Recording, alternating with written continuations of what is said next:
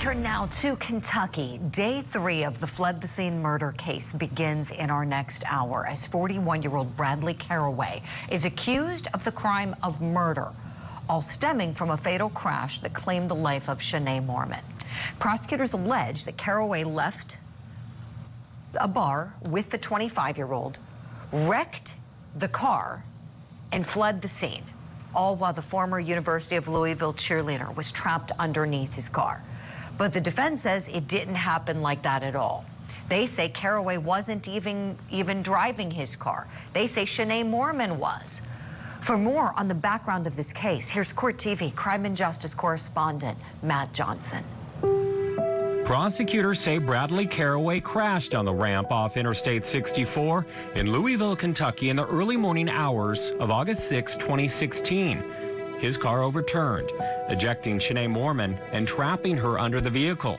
She was pronounced dead at the scene. Caraway was not in the car when police arrived. He was arrested several hours later, walking along the ramp to Taylorsville Road.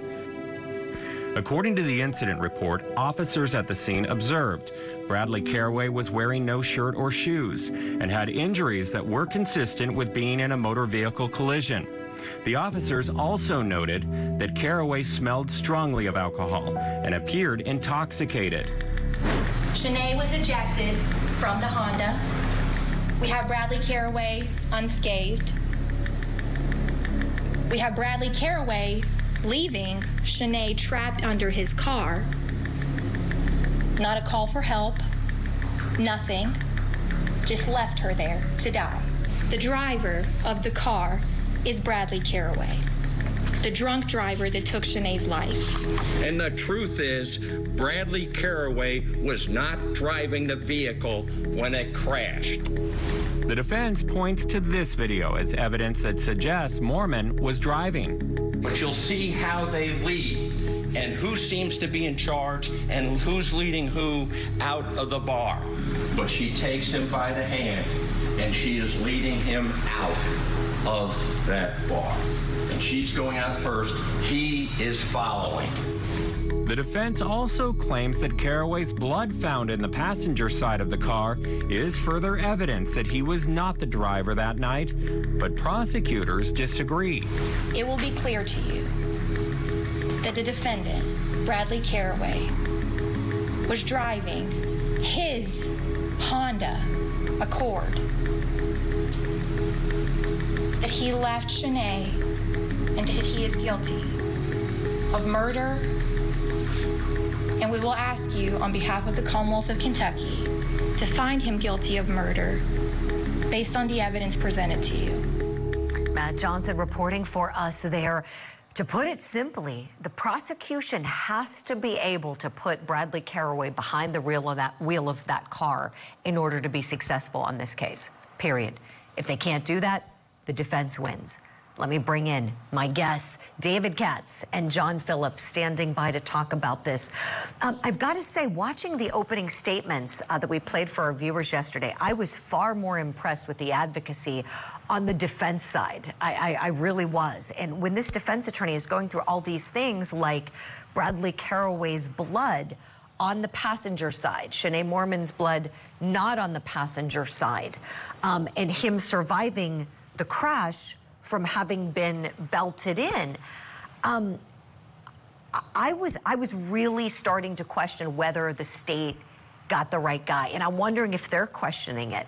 Uh, David Katz, talk to me. Tell me what you think based on what we've seen so far, please.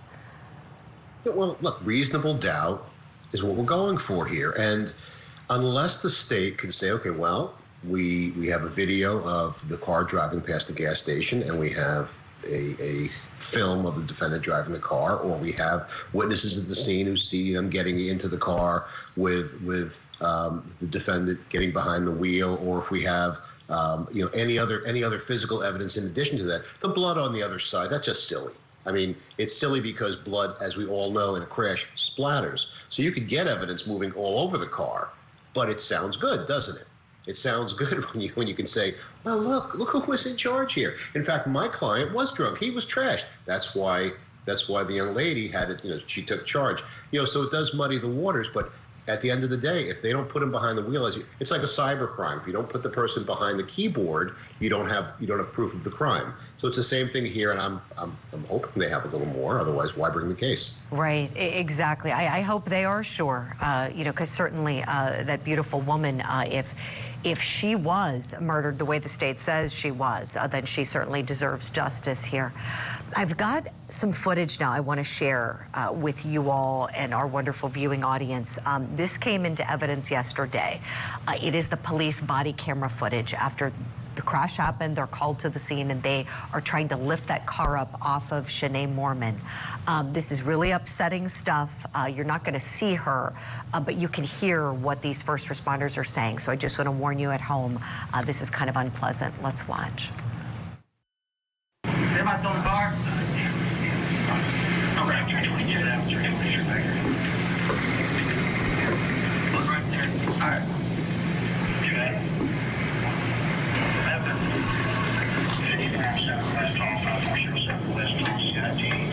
Steve says girlfriend threatened suicide. She's gonna burn the house down. Give you rings.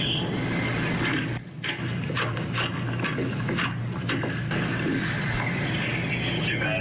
Okay, on from the. Hey, 20 Fred, I'm sorry, fire. She's pinned under the car.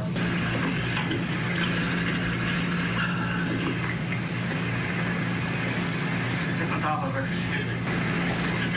It's uh, Oh my, I can't imagine having to see that. Um, John Phillips, uh, to you on this one. This is a very emotional case for this jury, certainly having to take in that evidence, and they're going to see the really bad stuff that we're unable to air. How much do you think emotion's going to play into the fact finding on this one?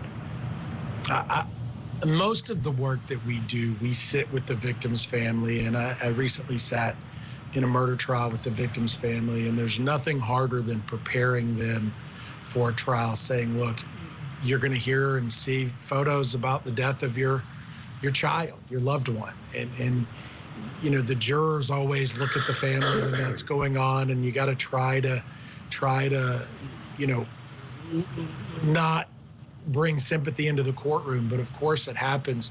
You know, the the, the interesting thing for, to this about this case to me is that it was mistried because of the illness of an attorney before, and that always gives the defense a little bit of an advantage, right? They hear the opening, they they see where uh, some of the cards may be dealt and get to react. And I think from, you know, certainly from trial one to trial two, uh, they've they've changed some of their strategy uh, with how to how to overcome that initial few minutes where he didn't do things after a wreck that you would expect if somebody were were, were truly innocent of this. Mm-hmm. Right. You know, e- even if he wasn't driving, like the, the Commonwealth of Kentucky says he is, it's pretty savage if he was the passenger and she's ejected he doesn't try to help in some way, call 911, do something um, to get her attention. So that's where, of course, the prosecution's theory is strong, right? Because we know he's walking down the side of the road and